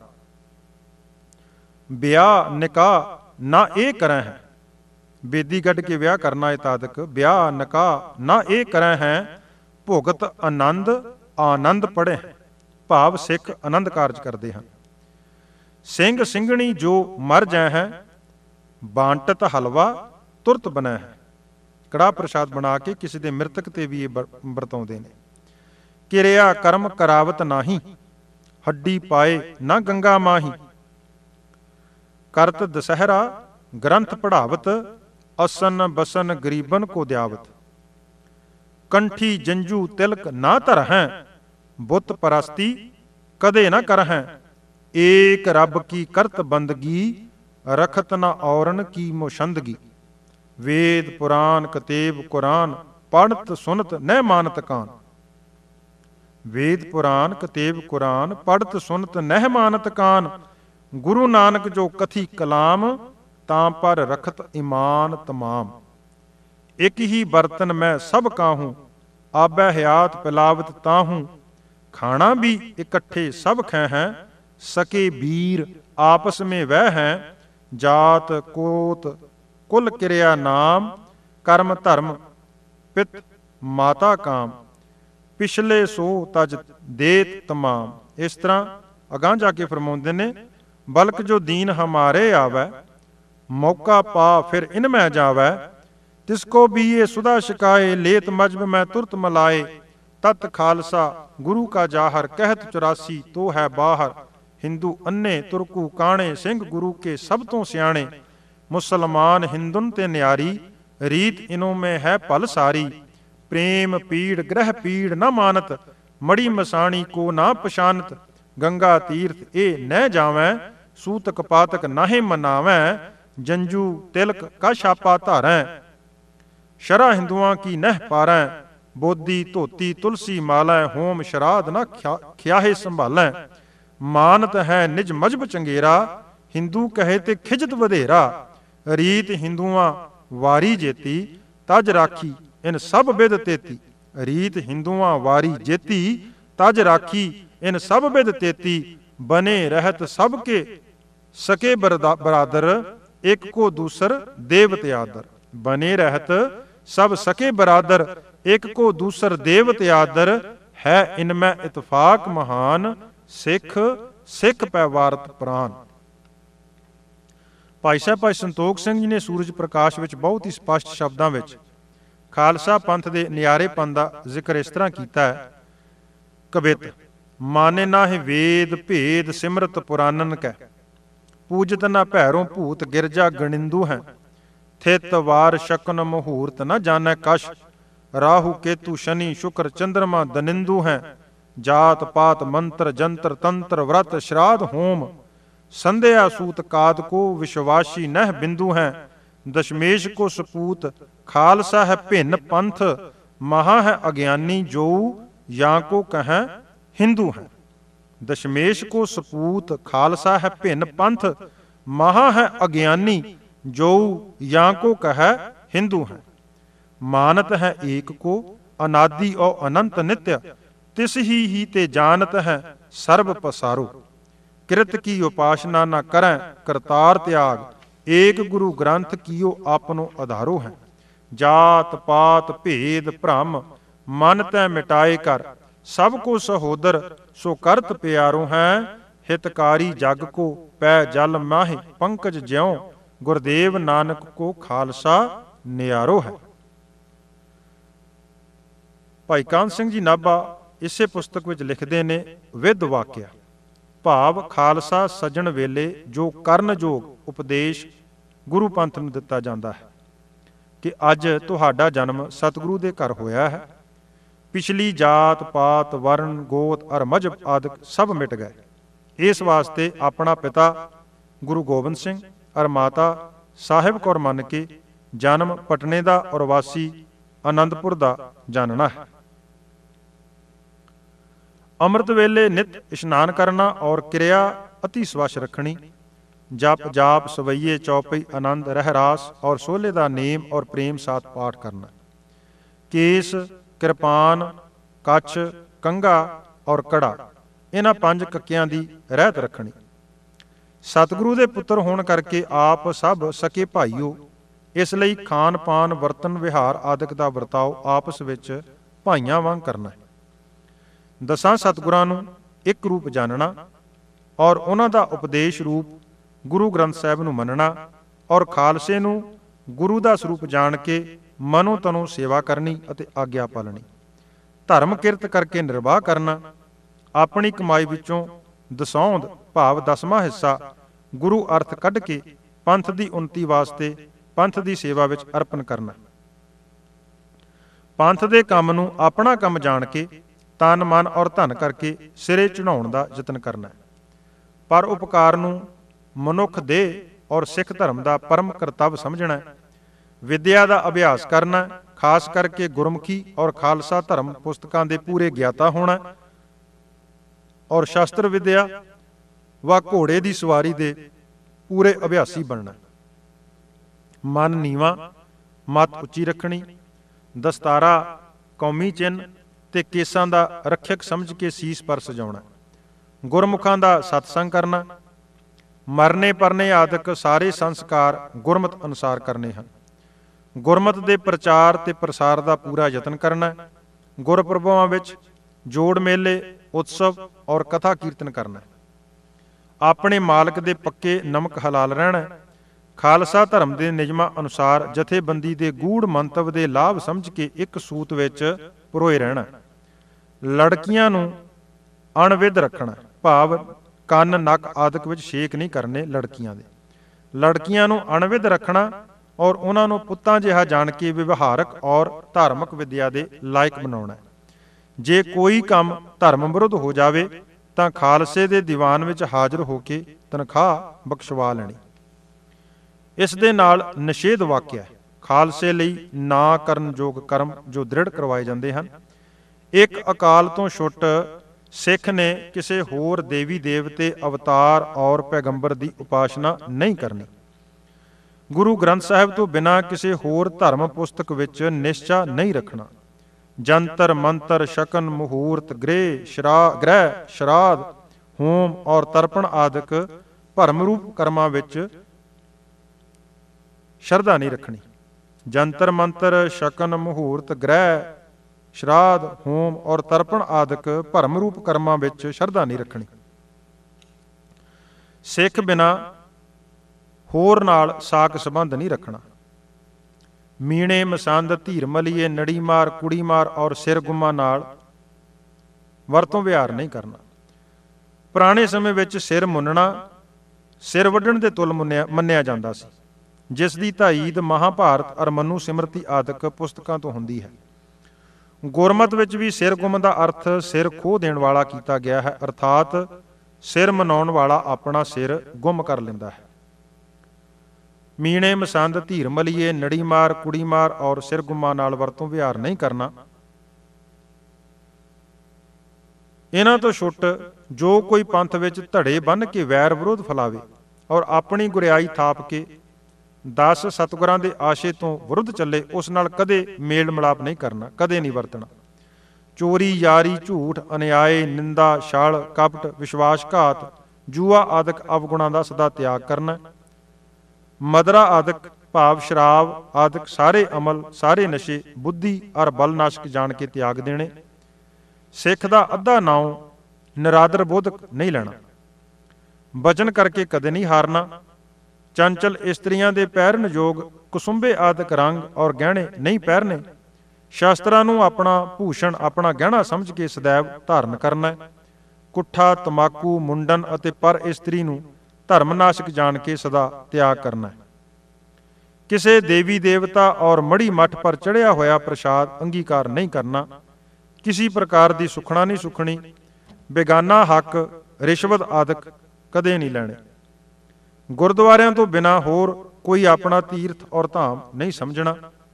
ਗੁਰੂ ਨਾਨਕ ਪੰਥੀ ਜਿਤਨੇ ਭੇਖ ਮਾਤਰ ਔਰ ਗੁਰੂ ਘਰ ਦੇ ਸਿੱਧਕੀ ਸਿੱਖ ਹਨ, ਉਹਨਾਂ ਨਾਲ ਕਦੇ ਵੈਰ ਵਿਰੋਧ ਈਰਖਾ ਨਹੀਂ ਕਰਨੀ ਔਰ ਕਿਸੇ ਨੂੰ ਹਾਨੀ ਪਹੁੰਚਾਉਣ ਦਾ ਸੰਕਲਪ ਮਾਤਰ ਵੀ ਮਨ ਵਿੱਚ ਨਹੀਂ ਲਿਆਉਣਾ। ਤੇਰੇ ਭਾਣੇ ਸਰਬੱਤ ਦਾ ਭਲਾ ਵਾਕ ਅਨੁਸਾਰ ਸਭ ਦਾ ਹਿੱਤ ਚਾਹਣਾ। ਕੇਸਾਂ ਨੂੰ ਕਲਪ ਨਹੀਂ ਲਾਉਣੀ, ਚਿੱਟੇ ਕੇਸ ਨਹੀਂ ਚੁਗਣੇ, ਕੰਨਿਆਂ ਦਾ ਧਨ ਅੰਗੀਕਾਰ ਨਹੀਂ ਕਰਨਾ, ਯਾਚਨਾ ਕਦੇ ਨਹੀਂ ਕਰਨੀ, ਰਣ ਵਿੱਚ ਭਿੱਠ ਨਹੀਂ ਦੇਣੀ। ਰਣ ਵਿੱਚ ਪਿੱਠ ਨਹੀਂ ਦੇਣੀ। ਭਾਈ ਨੰਦ ਲਾਲ ਸਾਹਿਬ ਤੋਸੀਫੋਸਨਾ ਵਿੱਚ ਗੁਰੂ ਸਾਹਿਬ ਨੂੰ ਸਰਵੋਤਮ ਕਥਨ ਕਰਦੇ ਹੋਏ ਗੁਰਮਤ ਨੂੰ ਹਿੰਦੂ, ਮੁਸਲਮਾਨ, ਈਸਾਈ ਆਦਿਕ ਧਰਮਾਂ ਤੋਂ ਭਿੰਨ ਔਰ ਸ੍ਰੇਸ਼ਟ ਲਿਖਦੇ ਹਨ। ਯਥਾ ਬਲੰਦ ਤਰ ਅਜ਼ ਹਨੂਦਾਤ ਵਲ ਤੁਰਕਾਤ, ਵਲ ਕੁਫਰਾਤ, ਵਲ ਇਸਲਾਮਾਤ, ਵਲ ਤੌਰੇਤਾਤ, ਵਲ ਇੰਜ਼ਿਲਾਤ ਵਲ ਜ਼ਬੂਰਾਤ, ਵਲ ਫੁਰਕਾਨਾਤ, ਵਲ ਪੀਰਾਤ, ਵਲ ਪੈਗੰਬਰਾਤ। ਇਸ ਦਾ ਤਾਤਪਰਾਜ ਇਹ ਹੈ ਕਿ ਹਿੰਦੂ, ਤੁਰਕ, ਇਸਲਾਮ, ਯਹੂਦੀ, ਈਸਾਈ, ਦਾਊਦੀ, ਮੁਸਲਮਾਨ, ਪੀਰ ਔਰ ਪੈਗੰਬਰ ਆਦਿਕਾਂ ਤੋਂ ਗੁਰੂ ਸਾਹਿਬ ਅਤਿਅੰਤ ਉੱਚੇ ਹਨ, ਅਰਥਾਤ ਸਿੱਖ ਧਰਮ ਸਰਵ ਧਰਮਾਂ ਤੋਂ ਸ਼੍ਰੋਮਣੀ ਹੈ।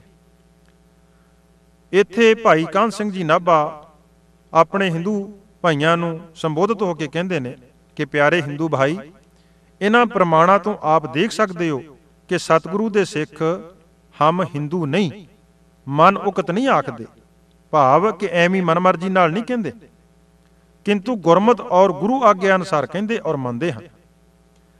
ਜੇ ਆਪ ਜਿਵੇਂ ਹਿੰਦੂ ਵੀਰ ਕਹਿੰਦੇ ਨੇ, ਭਾਈ ਸਾਹਿਬ ਲਿਖਦੇ ਨੇ ਕਿ ਜੇ ਆਪ ਸਿੱਖਾਂ ਨੂੰ ਹਿੰਦੂਆਂ ਵਿੱਚੋਂ ਨਿਕਲਣੇ ਕਾਰਨ ਹਿੰਦੂ ਮੰਨਦੇ ਹੋ, ਦਲੀਲ ਦਿੱਤੀ ਹੈ ਉਹਨਾਂ ਇੱਥੇ ਕਿ ਜੇ ਹਿੰਦੂ ਲੋਕ ਸਿੱਖਾਂ ਨੂੰ ਹਿੰਦੂਆਂ ਵਿੱਚੋਂ ਨਿਕਲਣੇ ਕਾਰਨ ਹਿੰਦੂ ਮੰਨਦੇ ਹੋ, ਤਾਂ ਈਸਾਈਆਂ ਨੂੰ ਜੋ ਯਹੂਦੀਆਂ ਵਿੱਚੋਂ ਨਿਕਲੇ ਹਨ, ਮੁਸਲਮਾਨਾਂ ਨੂੰ ਜੋ ਕਰੈਸ਼ੀ ਈਸਾਈਆਂ ਵਿੱਚੋਂ ਨਿਕਲੇ ਹਨ ਔਰ ਯਹੂਦੀ ਆਦਿਕਾਂ ਵਿੱਚੋਂ ਨਿਕਲੇ ਹਨ, ਯਹੂਦੀ ਆਦਿਕ ਕਰਕੇ ਕਿਉਂ ਨਹੀਂ ਜਾਣਦੇ?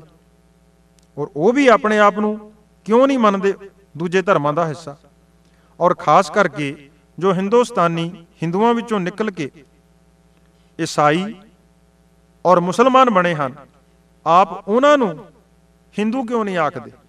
ਜਿਹੜੇ ਤੁਹਾਡੇ ਵਿੱਚੋਂ ਨਿਕਲ ਕੇ ਈਸਾਈ ਔਰ ਮੁਸਲਮਾਨ ਬਣੇ ਹਨ ਫਿਰ ਉਹਨਾਂ ਨੂੰ ਵੀ ਆਪਣੇ ਭਾਈ ਆਖੋ, ਉਹਨਾਂ ਨੂੰ ਤੁਸੀਂ ਹਿੰਦੂ ਕਿਉਂ ਨਹੀਂ ਆਖਦੇ?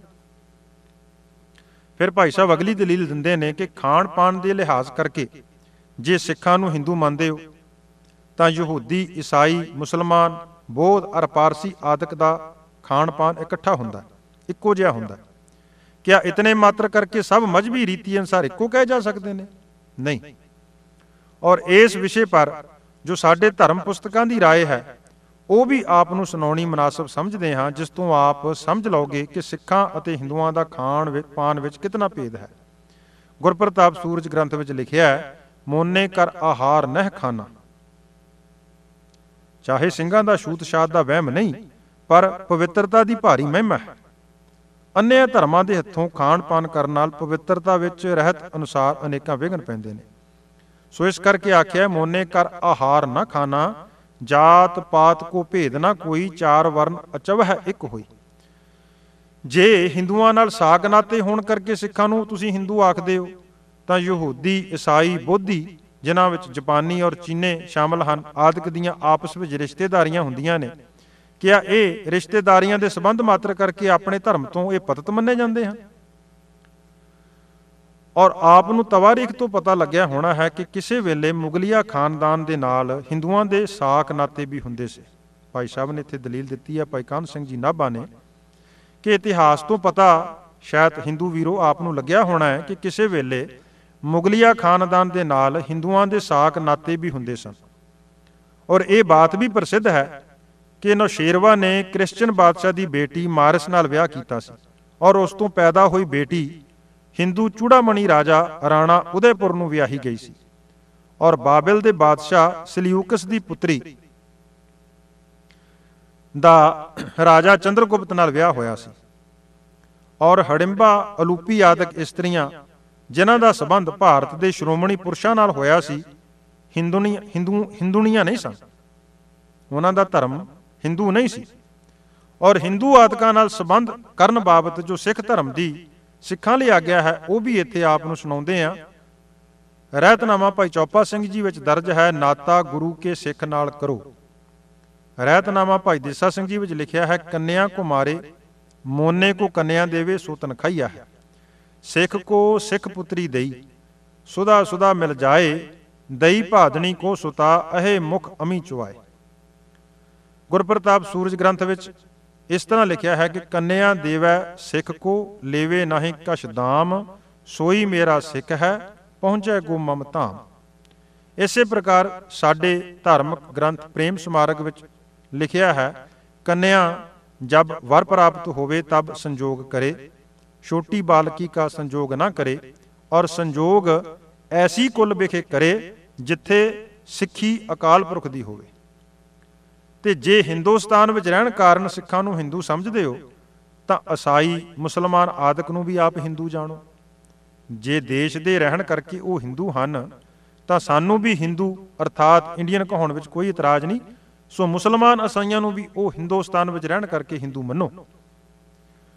ਅਗਾਹ ਭਾਈ ਸਾਹਿਬ ਭਾਈ ਕਾਨ ਸਿੰਘ ਜੀ ਨਾਭਾ ਨੇ, ਹਮ ਹਿੰਦੂ ਨਹੀਂ, ਪੁਸਤਕ ਵਿੱਚ ਇਹ ਦਲੀਲ ਦਿੱਤੀ ਹੈ ਕਿ ਜੋ ਹਿੰਦੂ ਵੀਰੋ ਆਪ ਆਖਦੇ ਹੋ ਕਿ ਹਿੰਦੂ ਪਦ ਦੇ ਅਰਥ ਬਹੁਤ ਉੱਤਮ ਹਨ।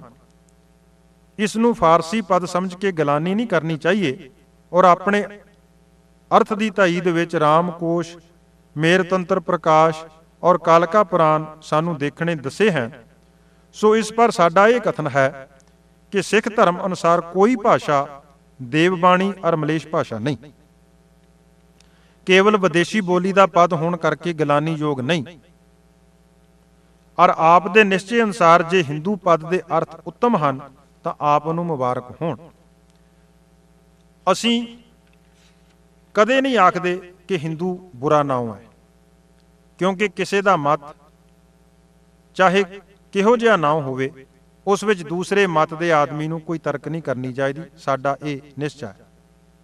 ਕਿਸੇ ਦੇ ਮਤ ਦਾ ਚਾਹੇ ਕਿੰਨਾ ਹੀ ਕਿਹਾ ਹੀ ਨਾ ਹੋਵੇ, ਉਸ ਵਿੱਚ ਦੂਸਰੇ ਮਤ ਦੇ ਆਦਮੀ ਨੂੰ ਕੋਈ ਤਰਕ ਨਹੀਂ ਕਰਨੀ ਚਾਹੀਦੀ।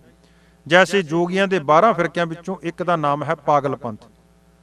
ਜੇ ਅਸੀਂ ਉਹਨਾਂ ਨੂੰ ਸਮਝਾਉਣ ਜਾਈਏ ਕਿ ਤੁਸੀਂ ਆਪ ਨੂੰ ਪਾਗਲਪੰਥੀ ਨਾ ਕਹਾਓ, ਤਾਂ ਸਾਡੀ ਮੂਰਖਤਾ ਹੈ। ਔਰ ਹਿੰਦੂ ਨਾਉ ਸੰਸਕ੍ਰਿਤ ਹੈ ਜਾਂ ਫਾਰਸੀ, ਇਸ ਗੱਲ ਨੂੰ ਸੰਸਾਰ ਦੇ ਸਾਰੇ ਵਿਦਵਾਨ ਜਾਣਦੇ ਨੇ ਔਰ ਆਪ ਦੇ ਪ੍ਰਸਿੱਧ ਕਾਂਚੀ ਨਿਵਾਸੀ 45 ਪੰਡਤਾਂ ਨੇ ਸਾਲ 1920 ਵਿੱਚ ਵਿਵਸਥਾ ਦਿੱਤੀ ਹੈ ਕਿ ਹਿੰਦੂ ਯਵਨ ਸੰਕੇਤ ਪਦ ਹੈ। ਇਸ ਕਾਰਨ ਹਿੰਦੂ ਕਹਾਉਣਾ ਸਰਵਥਾ ਅਨਉਚਿਤ ਹੈ। ਹਿੰਦੂ ਯਵਨ ਸੰਕੇਤ ਪਦ ਹੈ। ਇਸ ਕਾਰਨ ਹਿੰਦੂ ਕਹਾਉਣਾ ਸਰਵਥਾ ਅਨਉਚਿਤ ਹੈ। ਔਰ ਅੱਜ ਤਾਈਂ ਭਾਰਤ ਧਾਰਕ ਆਦਿਕ ਰਸਾਲਿਆਂ ਵਿੱਚ ਇਹ ਹੀ ਲਿਖਿਆ ਜਾਂਦਾ ਰਿਹਾ ਹੈ ਕਿ ਹਿੰਦੂ ਨਾਉ ਮਲੇਸ਼ਾਂ ਦਾ ਰੱਖਿਆ ਹੋਇਆ ਹੈ। ਇਸ ਵਾਸਤੇ ਆਰਿਆ ਲੋਕਾਂ ਨੂੰ ਕਦੇ ਹਿੰਦੂ ਨਹੀਂ ਕਹਾਉਣਾ ਚਾਹੀਏ। ਔਰ ਨਾ ਆਰਿਆ ਵਰਤ ਨੂੰ ਹਿੰਦੁਸਤਾਨ ਆਖਣਾ ਲੋੜੀਏ। ਹਿੰਦੂ ਪਦ, ਵੇਦਾਂ ਖੜ ਸ਼ਾਸਤਰਾਂ ਸਿਮਰਤੀਆਂ, ਰਾਮਾਇਣ, ਮਹਾਭਾਰਤ ਆਦਿਕ ਪੁਸਤਕਾਂ ਵਿੱਚ ਅਸੀਂ ਕਦੇ ਨਹੀਂ ਦੇਖਿਆ। ਅਚਰਜ ਦੀ ਗੱਲ ਹੈ ਕਿ ਹੁਣ ਆਪ ਦੇ ਕੋਸ਼ਾਂ ਔਰ ਪੁਰਾਣਾਂ ਵਿੱਚੋਂ ਪੰਡਤ ਜੀ ਦੀ ਕਿਰਪਾ ਕਰਕੇ ਨਿਕਲ ਆਇਆ ਹੈ। ਪਰ ਕਿਹਾ ਚੰਗਾ ਹੁੰਦਾ ਜੇ ਇਹ ਉਦਮ ਇਸ ਚਰਚਾ ਦੇ ਉੱਠਣ ਤੋਂ ਪਹਿਲਾਂ ਕੀਤਾ ਜਾਂਦਾ, ਵਿਦਵਾਨਾਂ ਨੂੰ ਹੁਣ ਆਪਣਾ ਇਹ ਯਤਨ ਨਿਸਫਲ ਜਾਪਦਾ ਹੈ।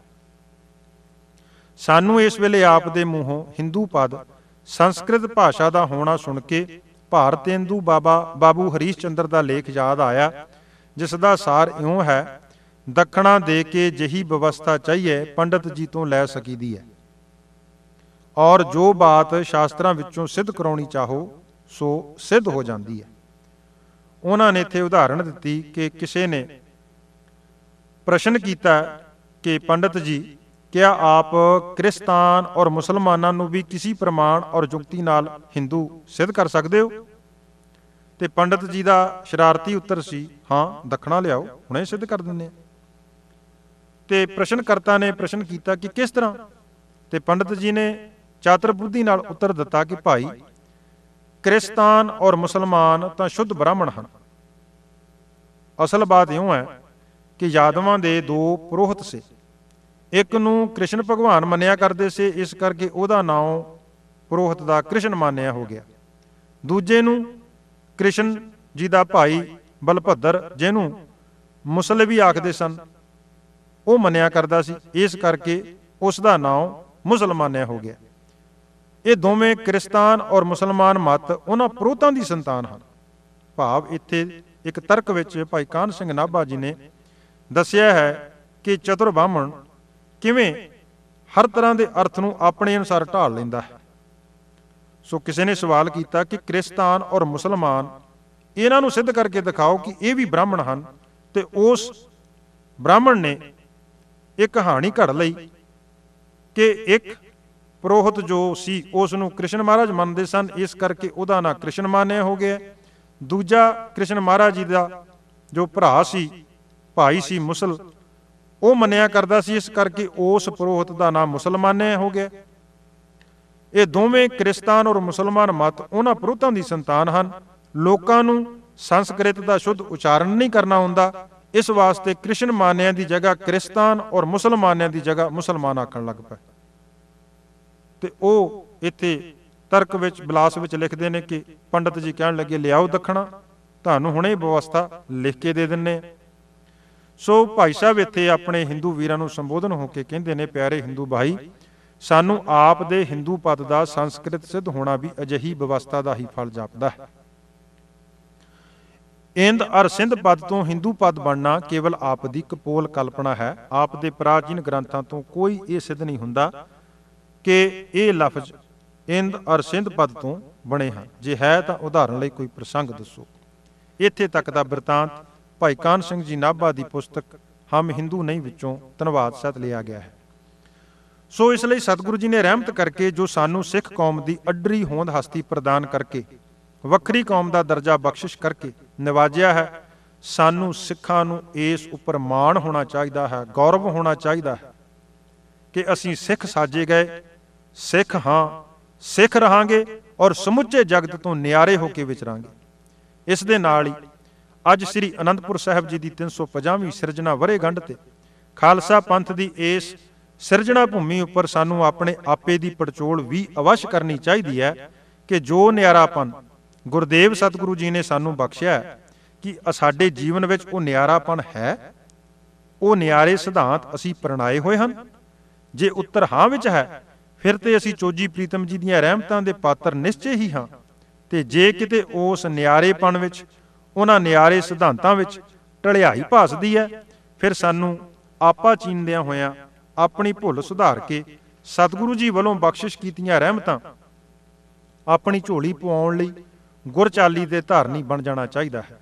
ਜਦ ਸਮੁੱਚੀ ਸਿੱਖ ਕੌਮ ਇਸ ਰਹਿਮਤ ਨੂੰ ਆਪਣੇ ਹਿਰਦੇ ਰੂਪੀ ਝੋਲੀ ਵਿੱਚ ਪਵਾ ਲਵੇਗੀ, ਫਿਰ ਕੋਈ ਵੀ ਤਾਕਤ, ਫਿਰ ਕੋਈ ਵੀ ਸ਼ਕਤੀ ਖਾਲਸਾ ਪੰਥ ਦੀ ਸਿੱਖ ਕੌਮ ਦੀ ਅਡਰੀ ਹਸਤੀ ਅਡਰੀ ਹੋਂਦ ਤੋਂ ਨਾ ਤਾਂ ਮੁਨਕਰ ਹੀ ਹੋ ਸਕਦੀ ਹੈ ਅਤੇ ਨਾ ਇਸ ਦੀ ਹੋਂਦ ਹਸਤੀ ਨੂੰ ਕਿਸੇ ਹੋਰ ਧਰਮ ਵਿੱਚ ਰਲਾਉਣ ਦੀ ਚੁਣੌਤੀ ਹੀ ਦੇ ਸਕਦੀ ਹੈ। ਜਦ ਸਮੁੱਚੀ ਸਿੱਖ ਕੌਮ ਸਤਿਗੁਰ ਸੱਚੇ ਪਾਤਸ਼ਾਹ ਵੱਲੋਂ ਦਰਸਾਈ ਹੋਈ ਗੁਰਚਾਲੀ ਰੂਪੀ ਰਹਿਮਤ ਨੂੰ ਆਪਣੇ ਹਿਰਦੇ ਰੂਪੀ ਝੋਲੀ ਵਿੱਚ ਪਵਾ ਕੇ ਉਸ ਰਹਿਮਤ ਦੀ ਮਨ ਬਚ ਕਰਮ ਕਰਕੇ ਕਮਾਈ ਕਰ ਲਵੇਗੀ, ਫਿਰ ਦੁਨੀਆ ਦੀ ਕੋਈ ਵੀ ਸ਼ਕਤੀ ਖਾਲਸਾ ਪੰਥ ਦੀ ਅਡਰੀ ਹੋਂਦ ਹਸਤੀ ਤੋਂ ਸਿੱਖ ਕੌਮ ਦੇ ਨਵੇਕਲੇਪਣ ਤੋਂ, ਸਿੱਖ ਕੌਮ ਦੀ ਅਡਰੀ ਹੋਂਦ ਹਸਤੀ ਤੋਂ ਨਾ ਤਾਂ ਮੁਨਕਰ ਹੀ ਹੋ ਸਕਦੀ ਹੈ, ਨਾ ਹੀ ਇਸ ਹੋਂਦ ਹਸਤੀ ਨੂੰ ਕਿਸੇ ਹੋਰ ਧਰਮ ਵਿੱਚ ਰਲਾਉਣ ਦੀ ਚੁਣੌਤੀ ਹੀ ਦੇ ਸਕਦੀ ਹੈ। ਸਾਨੂੰ ਸਭ ਨੂੰ ਸਿੱਖ ਖਵਾਉਣ ਵਾਲਿਆਂ ਨੂੰ ਸਾਬਤ ਸੂਰਤ ਦਸਤਾਰ ਸਿਰਾ ਦੇ ਧਾਰਨੀ ਬਣ ਕੇ, ਕਲਗੀਧਰ ਪਾਤਸ਼ਾਹ ਜੀ ਵੱਲੋਂ ਬਖਸ਼ੇ ਗੁਰਸਿੱਖੀ ਅਸੂਲਾਂ ਦੇ ਧਾਰਨੀ ਬਣ, ਸਤਿਗੁਰਾਂ ਦੇ ਪਰਉਪਕਾਰਾਂ ਨੂੰ ਇਸ ਧਰਤ ਅਨੰਦਪੁਰ ਤੇ ਅਕੀਦਤ ਦੇ ਫੁੱਲ ਭੇਟ ਕਰਨੇ ਹੀ ਬਣਦੇ ਹਨ। ਗੁਰਸਿੱਖਾਂ ਦੇ ਘਰਾਂ ਵਿੱਚ ਜਨਮੇ ਬੱਚਿਆਂ ਦੇ ਹਿਰਦਿਆਂ ਵਿੱਚ ਗੁਰਸਿੱਖੀ ਦਾ ਬੀਜ ਤਾਂ ਪਿਆ ਹੋਇਆ ਹੈ ਪਰ ਮਾਇਆ ਦੇ ਪ੍ਰਭਾਵ ਅਲਪ ਬੁੱਧੀ ਅਤੇ ਬਹੁ ਗਿਣਤੀ ਵੱਲ ਦੇਖ ਕੇ ਉਹ ਆਪਣੇ ਅੰਦਰਲੇ ਗੁਰਸਿੱਖੀ ਦੇ ਸੰਸਕਾਰ ਬਾਹਰ ਪ੍ਰਗਟ ਕਰਨ ਤੋਂ ਅਜੇ ਝਿਜਕਦੇ ਹਨ ਝਿਜਕ ਕਰਾਂਗੇ ਮੁੰਨੇ ਜੋਗੀ ਤੇ ਪੀਸੇ दारू ਨੂੰ ਕੋਈ ਪਛਾਣ ਸਕੇਗਾ ਜੇ ਝਿਜਕ ਕਰਾਂਗੇ ਤੇ ਮੁੰਨੇ ਜੋਗੀ ਨੂੰ ਤੇ ਪੀਸੇ दारू ਨੂੰ ਕੌਣ ਪਛਾਣ ਸਕੇਗਾ ਕੋਈ ਨਹੀਂ ਪਛਾਣ ਸਕੇਗਾ। ਸਾਡੇ ਨਾਲ ਵੀ ਵਰਤਾਰਾ ਵਰਤਿਆ ਇਸੇ ਤਰ੍ਹਾਂ ਅਮਰੀਕਾ ਵਿੱਚ 9/11 ਭਾਵ 11 ਸਤੰਬਰ ਦੀ ਘਟਨਾ ਤੋਂ ਬਾਅਦ ਕੁਝ ਇੱਕ ਸ਼ਰਾਰਤੀ ਅਤੇ ਅਗਿਆਨੀ ਲੋਕਾਂ ਨੇ ਸਿੱਖਾਂ ਨੂੰ ਮੁਸਲਮਾਨ ਸਮਝ ਕੇ ਸ਼ਰਾਰਤਾਂ ਕੀਤੀਆਂ ਸਨ। ਪਰ ਕੁਝ ਇੱਕ ਘਟਨਾਵਾਂ ਤੋਂ ਬਾਅਦ ਅਮਰੀਕੀ ਸਰਕਾਰ ਨੇ ਸਿੱਖਾਂ ਦੀ ਵੱਖਰੀ ਪਛਾਣ ਨੂੰ ਦਰਸਾਉਂਦਾ ਇੱਕ ਕੈਲੰਡਰ ਪਛਾਣ ਪੱਤਰ ਦੇ ਰੂਪ ਵਿੱਚ ਅਖਬਾਰਾਂ ਅਤੇ ਸਾਰੇ ਸਰਕਾਰੀ ਦਫ਼ਤਰਾਂ ਪੁਲਿਸ ਸਟੇਸ਼ਨਾਂ ਉੱਪਰ ਲਗਾਇਆ। ਜਿਸ ਵਿੱਚ ਸਾਬਤ ਸੂਰਤ, ਪਟਕਾ ਬੰਨਣ ਵਾਲੇ ਬੱਚਿਆਂ ਤੋਂ ਲੈ ਕੇ ਦਸਤਾਰਧਾਰੀ, ਸਿੱਖ, ਖੁੱਲੀ ਦਾੜੀ ਅਤੇ ਦਸਤਾਰਧਾਰੀ ਬੀਬੀਆਂ ਦੀਆਂ ਫੋਟੋ ਪ੍ਰਕਾਸ਼ਿਤ ਕੀਤੀਆਂ ਸਨ ਤਾਂ ਜੋ ਸਿੱਖਾਂ ਦੀ ਅਡਰੀ ਹੋਂਦ ਹਸਤੀ ਦਾ ਗਿਆਨ ਹੋ ਸਕੇ। ਉਸ ਕੈਲੰਡਰ ਵਿੱਚ ਕਿਸੇ ਵੀ ਕਲੀਨ ਸ਼ੇਵਨ ਜਾਂ ਦਾੜੀ ਕੱਟਣ ਵਾਲੇ ਨੂੰ ਸਿੱਖ ਕਰਕੇ ਨਹੀਂ ਦਰਸਾਇਆ ਗਿਆ। ਉਸ ਕੈਲੰਡਰ ਵਿੱਚ ਕਿਸੇ ਵੀ ਕਲੀਨ ਸ਼ੇਵਨ ਨੂੰ ਜਾਂ ਦਾੜੀ ਕੱਟ ਕੇ ਆਪਣੇ ਆਪ ਨੂੰ ਸਿੱਖ ਕਹਾਉਣ ਵਾਲੇ ਨੂੰ ਨਹੀਂ ਸ਼ਾਮਲ ਕੀਤਾ ਗਿਆ, ਸਾਬਤ ਸੂਰਤ ਦਸਤਾਰਧਾਰੀ ਸਿੱਖਾਂ ਦੀਆਂ ਫੋਟੋਆਂ ਉਸ ਵਿੱਚ ਪ੍ਰਕਾਸ਼ਿਤ ਕੀਤੀਆਂ ਗਈਆਂ। ਇੱਥੇ ਸੋਚਣ ਵਾਲੀ ਗੱਲ ਹੈ ਕਿ ਸਾਬਤ ਸੂਰਤ ਦੇ ਧਾਰਨੀ ਤਾਂ ਸਿੱਖ ਕੌਮ ਦਾ ਅੰਗ ਮੰਨੇ ਗਏ ਨੇ। ਦਾੜੀ ਕੱਟਣ ਵਾਲਿਆਂ ਨੂੰ ਸਰਕਾਰ ਨੇ ਸਿੱਖ ਹੀ ਨਹੀਂ ਮੰਨਿਆ। ਉਹਨਾਂ ਪ੍ਰਤੀ ਤਾਂ ਪੁਰਾਣੀ ਕਹਾਵਤ ਕਿ ਨਾ ਘਰ ਦੇ ਰਹੇ, ਨਾ ਘਾਟ ਦੇ ਇਹੋ ਹੀ ਟੁਕੀ ਹੈ।